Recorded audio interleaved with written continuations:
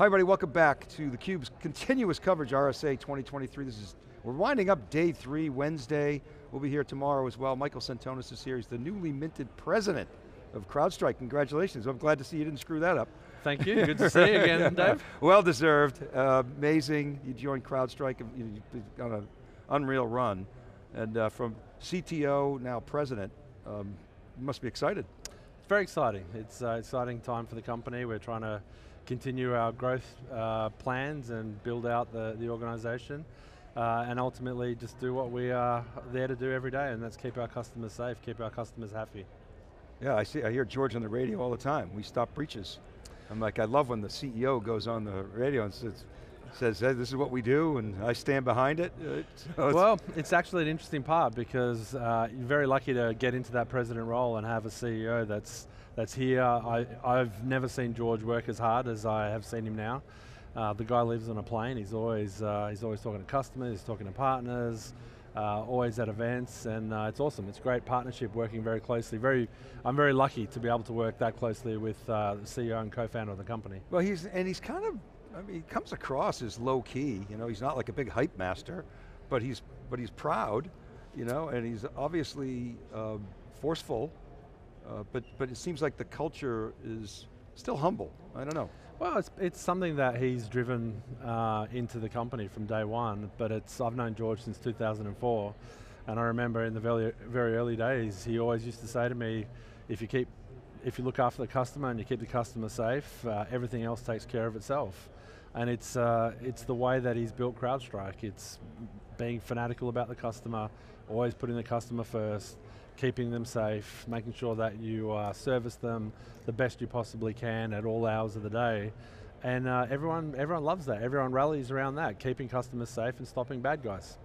So, part of the part of the challenge of doing that is is you know the customer a lot of times you know they're so busy a lot of the wounds that they face are self-inflicted and, and, I don't mean to be too critical of that but it's just that it's hard right they don't have the the the the, the talent they're under budget pressures uh, and okay, we did that maybe 10 years ago. We have all this technical debt.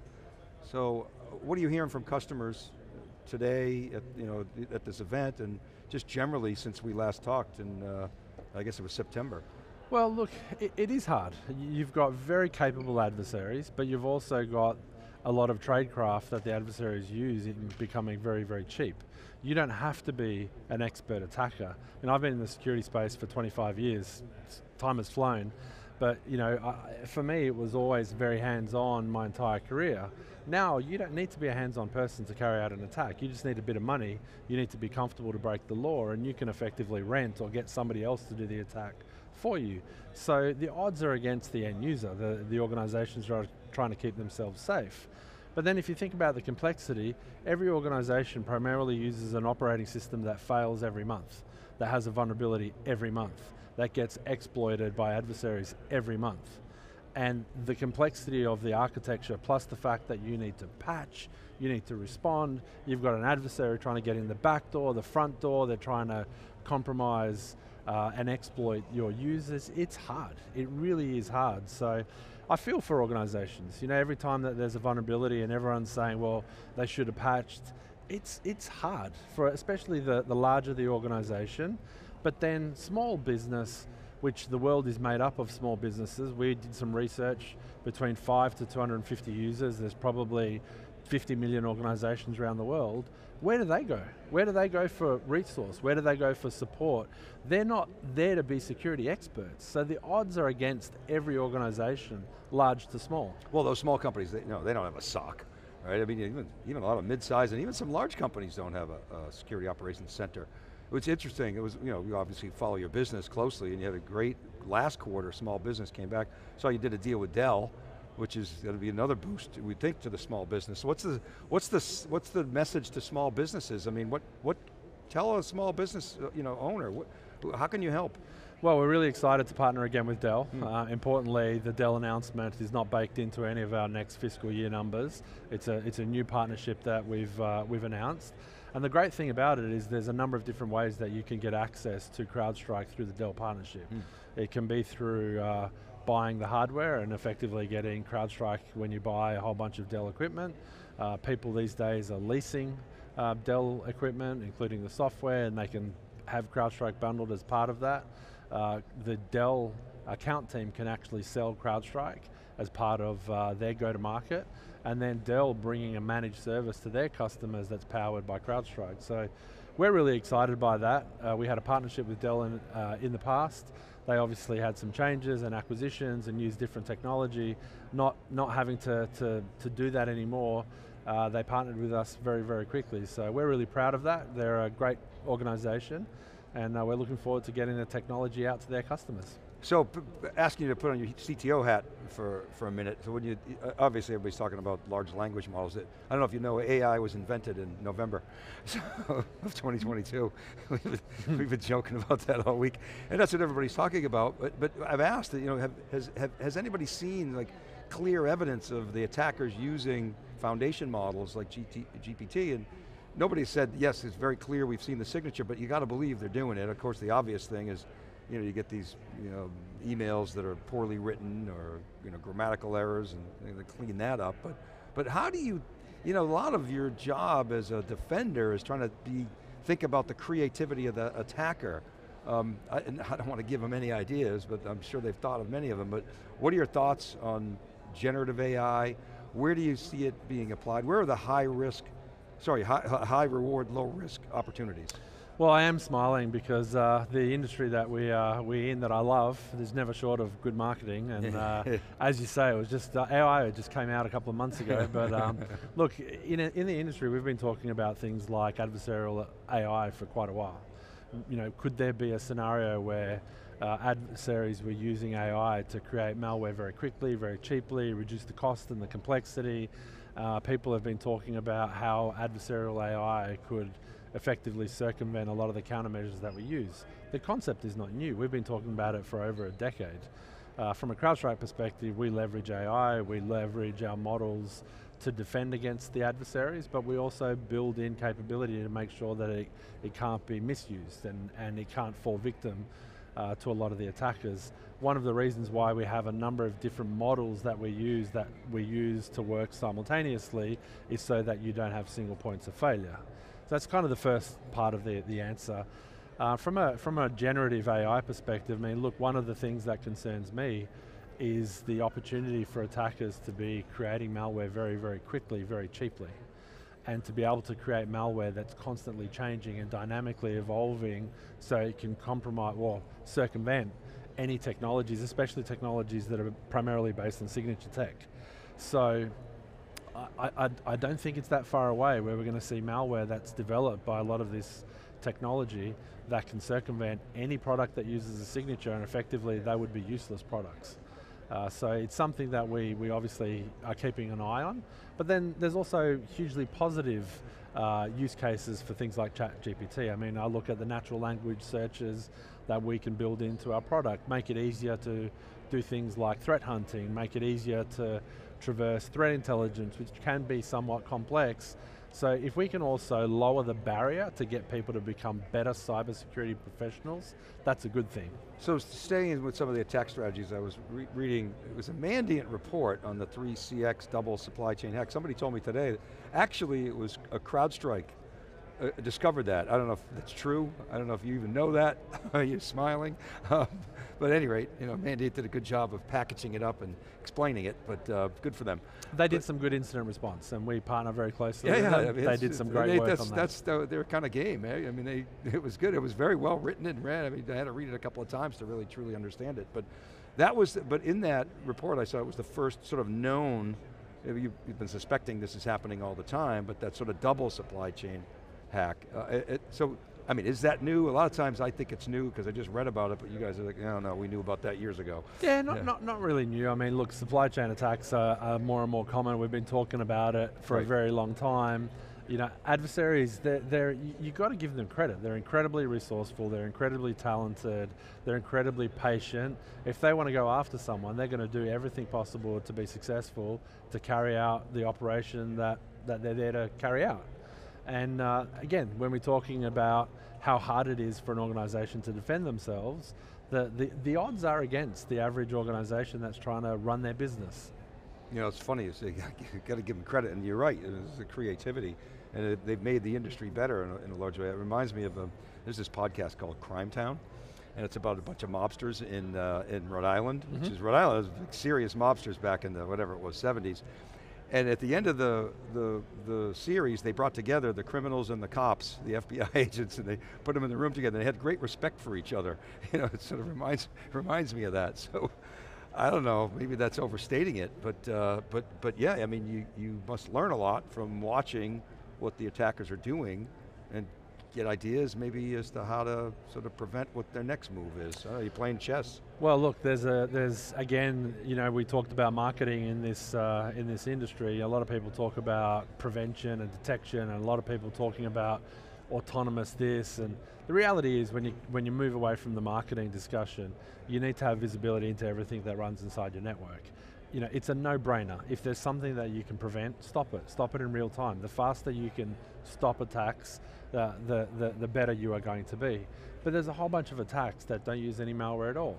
There's a whole bunch of attacks that uh, are primarily related or, or involve social engineering. They involve profiling the target.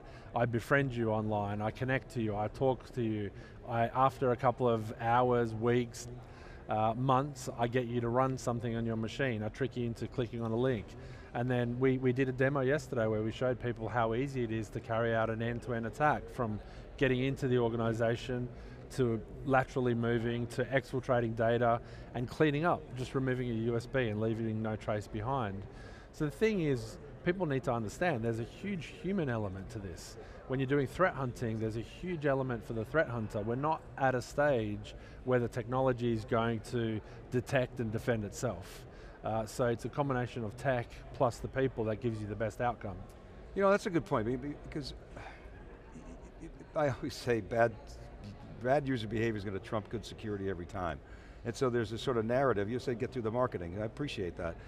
Because there's this narrative, hey, spend more. We spend more every year. You know, you feel like, okay, we're less safe, even though we're more capable as an industry, but what do you what do you suggest customers do to to, to interpret, just to educate the workforce. You know, we talk about security moved into the boardroom and it did, you know, many, many years ago. It's now moved throughout, throughout the organization, but still there's a sort of a lack of, I think, appreciation. And you, see, you just gave a really good example. Somebody befriends you online, could be months, and hey, check this out, boom, you click on the link and then you're, you're, you're dead. So how about that sort of educational aspect and sort of investing there? What do you recommend companies do? Well, some of the best, most progressive organizations that I've had the, the privilege of working with and meeting uh, are organizations that target the layer eight problem, right? That, that yeah. target the user yeah. and educating the user and helping them understand what these adversaries do, using gamification, making it fun, getting people involved, uh, running phishing tests, but not in a way that penalizes people or makes people afraid. You know, really having fun around it and having weeks where if you're a, an employee in a, in a bank, you can walk downstairs, you can chat to one of the teams in cyber, you can learn a little bit more, and it just raises the skill level we're also living in a different world, right? If you go back to the, the days when I started, I'm, I'm trying to make myself sound old for some reason, but if you go back into the early days when I got into this space, if I spoke to my friends and told them what I did, they were like, what? Like, what are you doing? You know, if you told your parents and your family members what you're doing, it was just, people were just not really sure what it is that you're doing. But now when your personal information is stolen every week, now when healthcare companies are targeted, now when people go to hospitals and they can't be admitted because there's a cyber attack, everybody knows about it. Everybody knows this space, so people want to know more you don't have to work as hard to try to educate users because they're hearing it all the time and it's impacting them personally. It's one thing to see it on the news, but it's another thing to have to change all of your personal information. You know, there was a big attack uh, in Australia recently where people were trying to work out, what do I do now? Do I go to the passport office and apply for a new passport? Do I go to my equivalent of the DMV here in the US to get a new license? Um, even the people that were putting out the new licenses didn't know what to do because you got a license number and you kept that. It's like a social security number. You get the number, you keep it. What do you mean you need a new number? So it's impacting people in a big, big way personally, which people are now taking that learning and that thinking to the office. You know, it's funny you mentioned uh, that some companies will have know, take have you take. I don't know if I'm speaking out of turn. I don't think I am, but we were talking about Dell earlier. I was talking to folks from Dell the other day. They said, "Oh yeah, they have the phishing test that they have to pass." And if you know, is this is this a, a, a spam phishing email? Or, and if they fail, they got to go to class, right? So, well, you know, and that's good. I mean, I like, hey, I'd like to take that test, see if I can pass. You, you have to do things. We do we do a lot to educate our internal staff. I mean, you know, we, we obviously as a cybersecurity company, we're fingerprinting staff, we're doing background checks constantly, recording everything everyone does. People come to us because they trust us. Security is about trust. And we have to do that. But I think it's a good thing.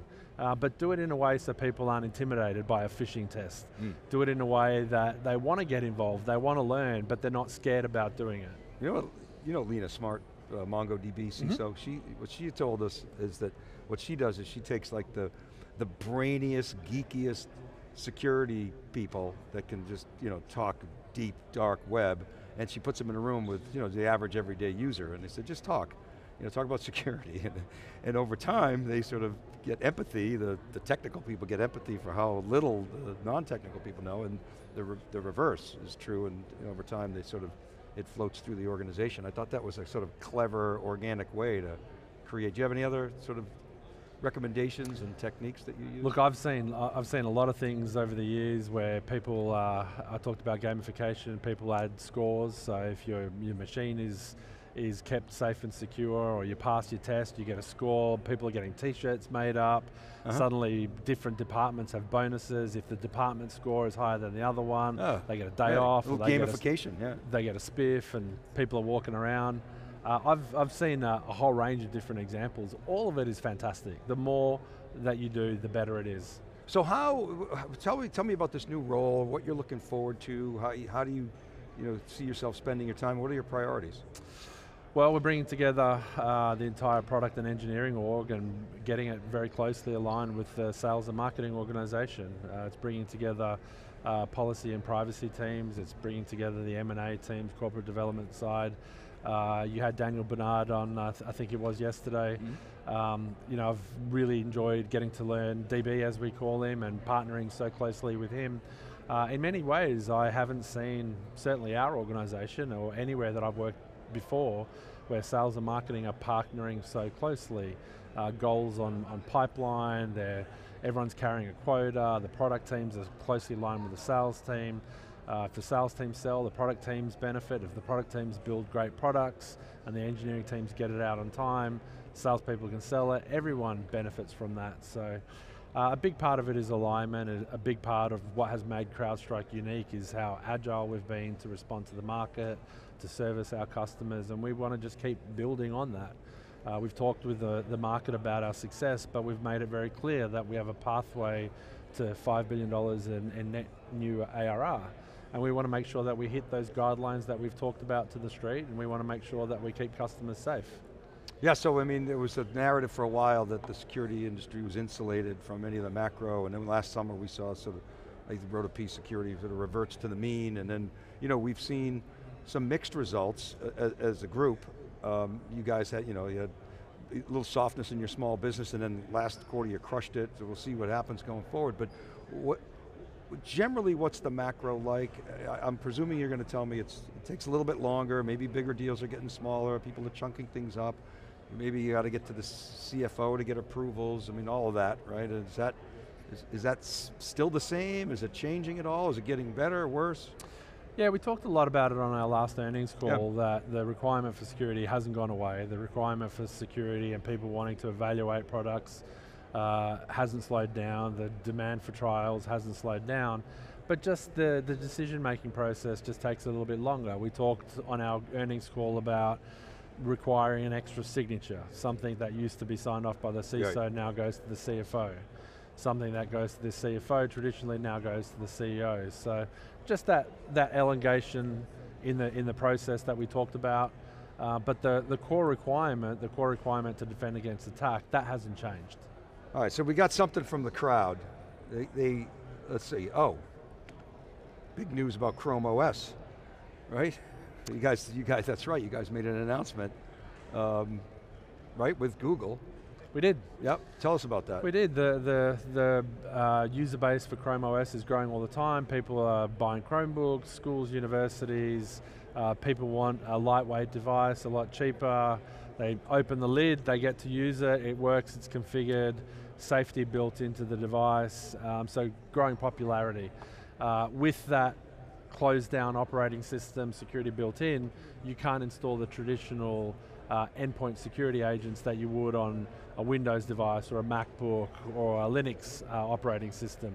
So we worked very closely with, uh, with Google. They want to make sure that they're providing a safe and secure platform and, and device to their customers. Uh, and rather than install anything, the telemetry coming off the device goes into the Google Cloud, and then in the back end, we're bringing it into the CrowdStrike Falcon platform. As a customer, oh, I don't have to do anything. you don't have to do Oh, anything. I'm a big- I'm a Chrome user. I, that's my There we pri- go. primary. You're ready for uh, yeah, CrowdStrike. Despite my uh, my Mac, I prefer Chrome over Safari or any other browser. Uh, DuckDuckGo sometimes, but just for kicks. But, uh, I haven't really. I still can't get it to Bing. I just you know it just it just doesn't do it for me. I don't know about you guys, but. You know, even even with all the Chat GPT stuff, it's just it hasn't hooked me yet. I don't know. Look, But, the uh, best thing for us, um, pick whatever you feel comfortable using and we'll secure it. We're not going to drive you one way or the other. We want to make sure that you use uh, any technology that allows you to be uh, really to, to do your job, to be uh, successful in your business, to use it for entertainment, but you're doing it safely and securely. So we're not going to drive you into any one platform. We'll secure all of them. Yeah, I mean, right, look, different preferences, uh, different strokes for different folks, of course. Michael, thank you for stopping breaches and the work that you do. Really appreciate you coming on theCUBE. Thanks for having Great me. Great to see you again. All right, keep it right there. We're back to wrap up day three, Wednesday here. Yeah, it's Wednesday, right? Yeah, okay, RSA Conference 2023. You're watching theCUBE.